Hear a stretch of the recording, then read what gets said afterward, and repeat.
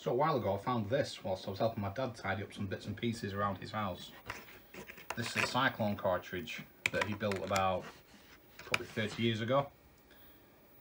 And this is a device that plugs in between your external floppy drive and allows you to make backup copies of some, I don't believe it worked on everything, but some original protected Amiga games. So what better way to spend a day off than to mess around, give it a try, see if it works. So that's what we're going to do today. So the game that we're going to try and duplicate is Turrican, one of my favourites. And to avoid focusing on this flickering screen, I'm going to turn that off and we're going to use the LCD screen. So first of all, I better boot my Kickstart disc.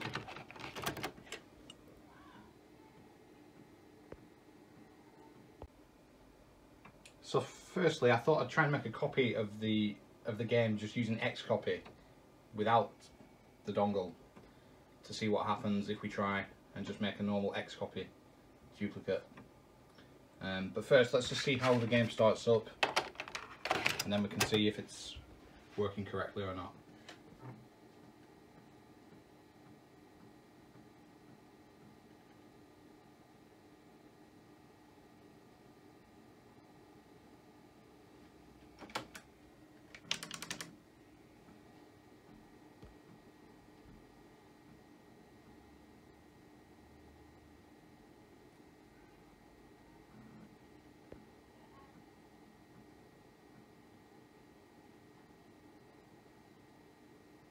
I didn't bother hooking up the sound, so we won't hear anything through this screen, but that doesn't matter.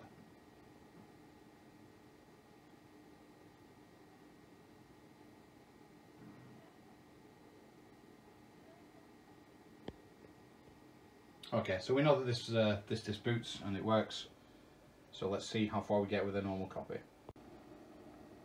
Okay, let's put in Xcopy.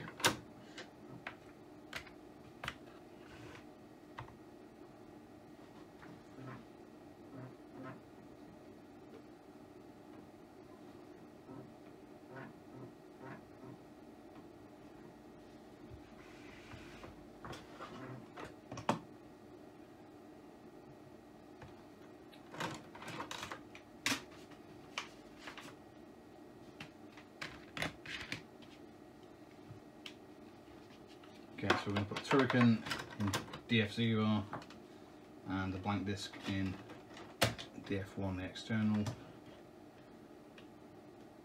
And we'll just try a normal copy.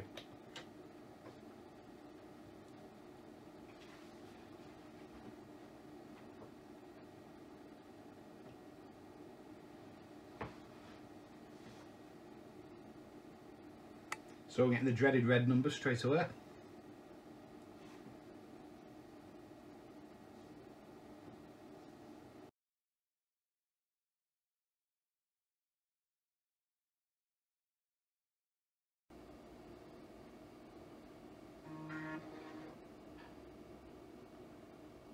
Okay, 12 minutes and 11 seconds.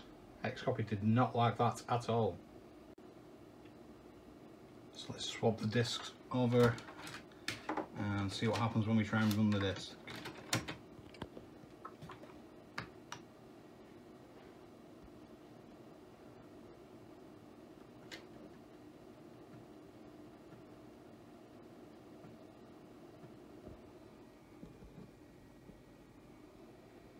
Nothing.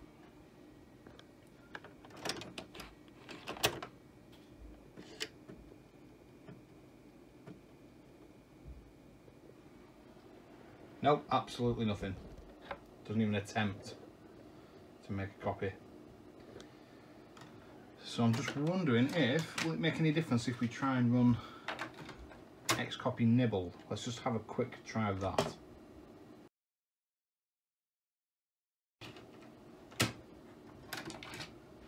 Should really format the disk, I guess, but I'm not going to bother.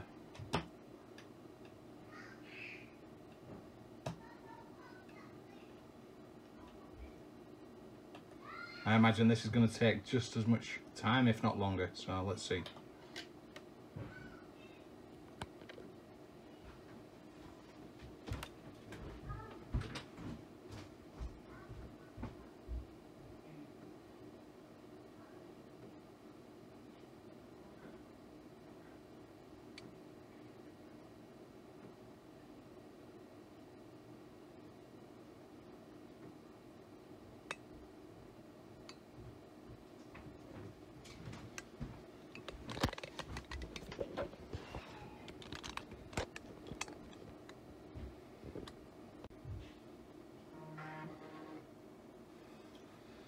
Okay, that was actually a lot quicker. Let's see if that's made any difference.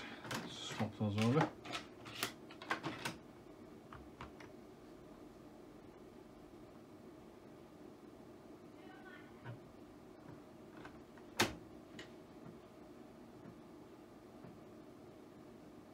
Nope, no difference whatsoever.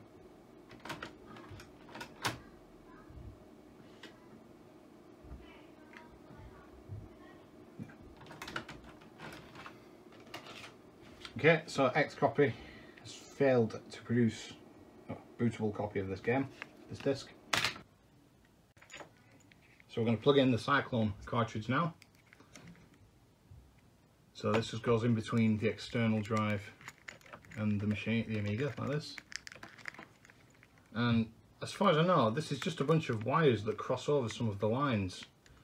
And I'm not really sure how it works, but I believe it's got something to do with the synchronization of the motors and things like that. So uh, it kind of creates an analog copy. And I guess that means it'll ignore or, or copy the protection as well. But let's plug this in and see what happens.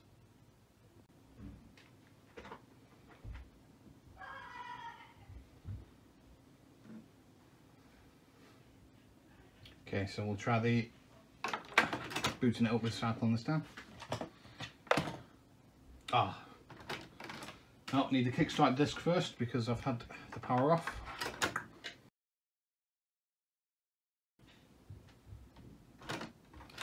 Okay, now I can try X copy disc.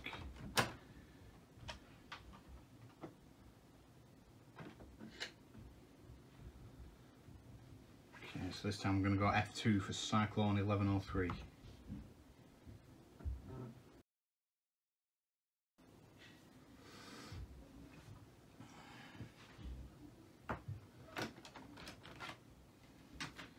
Okay, let's give it a go. Let's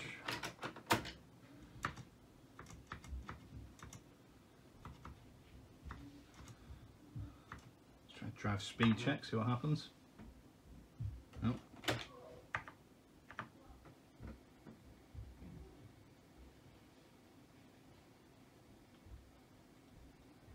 Guess that means they're running at almost the same speed.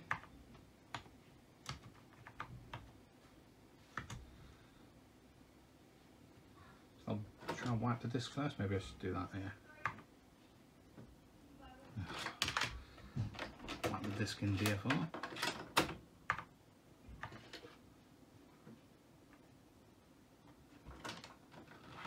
What?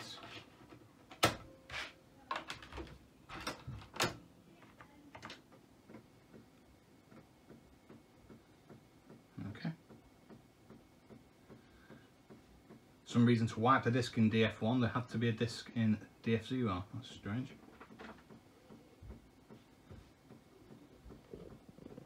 The LED is actually lit up with DF0 at the same time. Maybe it's because it's keeping them synchronized. Interesting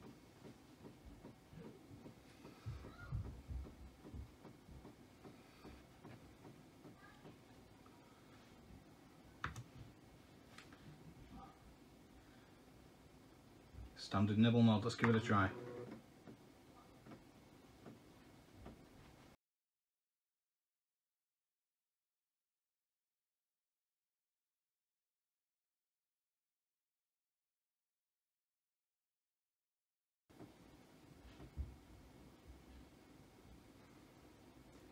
Okay, let's see what happens.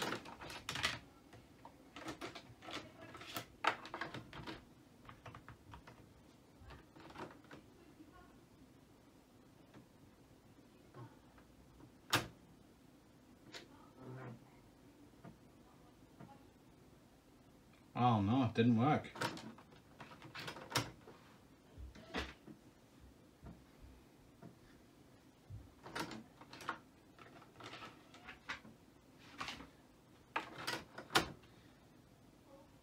Okay, guess we step up to deep nibble.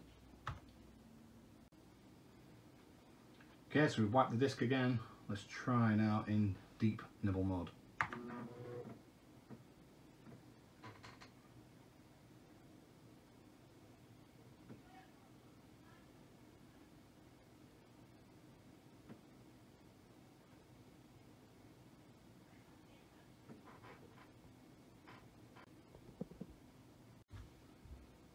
Okay, so that's finished finally. Let's swap these over, see what happens.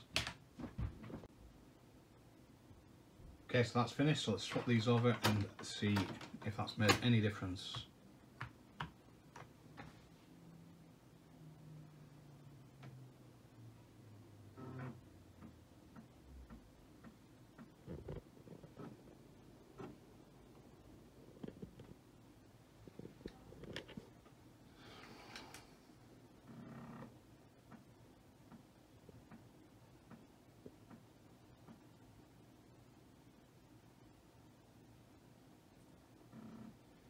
Got a bit further this time. Can we get as far as the title screen?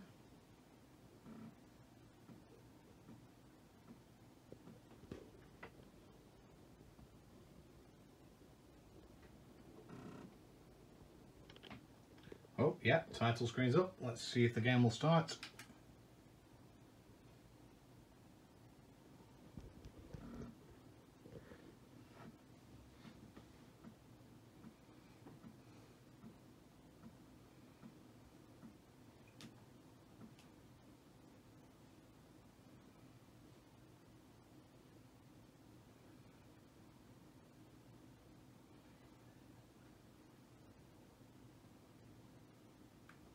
Wow.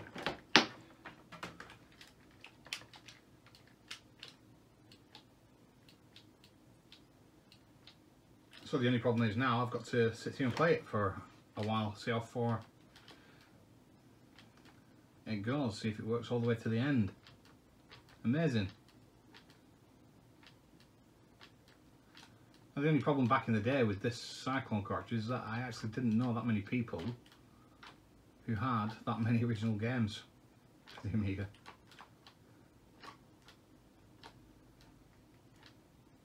But it's still a fun retro experiment.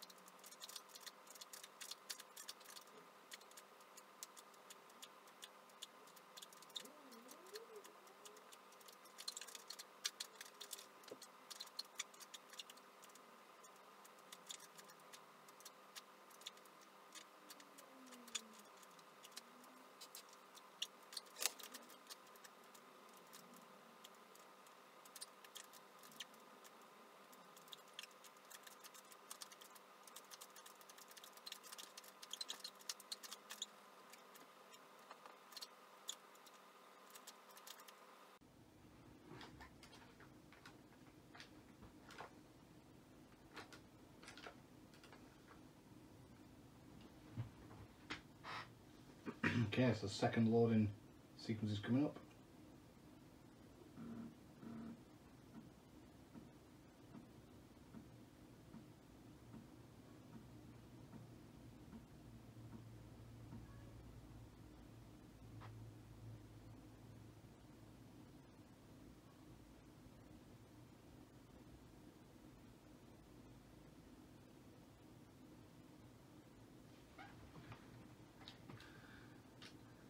Brilliant, it's looking good.